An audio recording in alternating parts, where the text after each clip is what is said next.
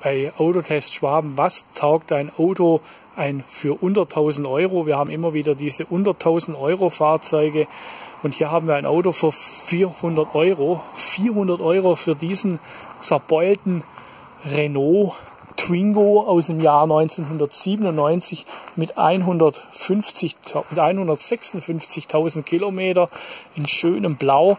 Ja, was kann dieses Auto? Immerhin hat es ein Fallschiebedach. Hier haben wir eine riesen Beule an der Tür. Aber von vorne, ja, knuffiger kleiner Franzose. Hier die Motorhaube ist hier ein bisschen aus der Fuge geraten. Ja, die, ist, die ist krumm.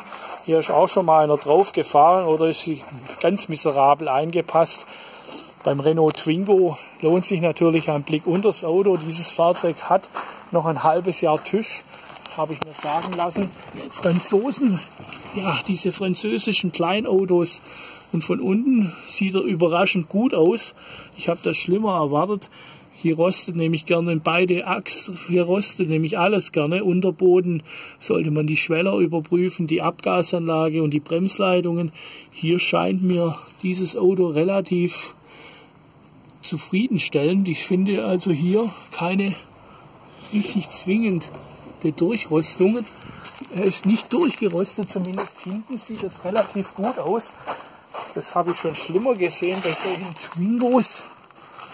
Ja, jetzt schauen wir uns die vorderen Schweller an. Und auch hier überrascht dieser Twingo mit Rostfreiheit. Ja, ein gutes Auto scheint mir dies zu sein. Auch Ölverlust sieht man hier nicht. Häufig sind auch die vorderen, ja, diese vorderen Querträger ausgeschlagen. Ölverlust am Motorgetriebe ist auch ein häufiges Problem beim Renault Twingo. Die Fahrwerksfedern schlagen häufig aus. Hier sehen wir diese Vorderachse, die Fahrwerksfedern hier, diese Spiralfedern schlagen frühzeitig aus und die sind hier auch schon leicht ausgeschlossen, hier auch schon defekt. Ja, dieses Fahrzeug hat ein Fallschiebedach, das sollte man natürlich auf Frisse überprüfen, hat ja Gott sei Dank keine. Zu den Stärken des Renault Twingo, ja, bietet natürlich ein viel, einen hohen Fahrspaß. Gerade dieser Twingo scheint bis auf diese Riesendelle an der Seitenwand hier links gut in Schuss zu sein. Er bietet einen recht quirligen Innenmotor, quirligen Innenraum. Fetzig sieht das alles aus ja, dieser Wagen ist mit etwas Liebe wieder herzurichten. Er hat nämlich eine gute Substanz, kein Rost am Unterboden festzustellen. Probleme beim Twingo sind gebrochene Fahrwerksfedern, Hinterachse und Vorderachse betroffen.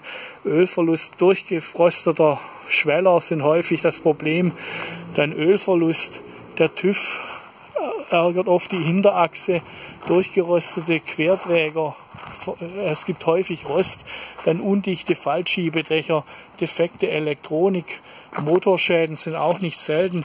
Dennoch bekommt der Renault Twingo der ersten Generation ein Auto für unter 1000 Euro, bekommt allerdings nur zwei von fünf Sternen und ein eher wenig empfehlenswert. Dieser Twingo hier ist allerdings für, 500 Euro, für 400 Euro ein echtes Schnäppchen. Trotz des Schadens an der rechten Seite kann man solche Autos durchaus empfehlen.